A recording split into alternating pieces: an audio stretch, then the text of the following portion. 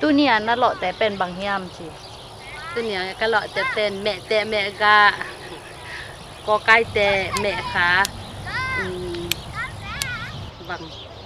dâu tết tết mì té mẹ té mẹ gà té the sun So today she's taking peppers and the the coca and then the um, sampok uh, mekha.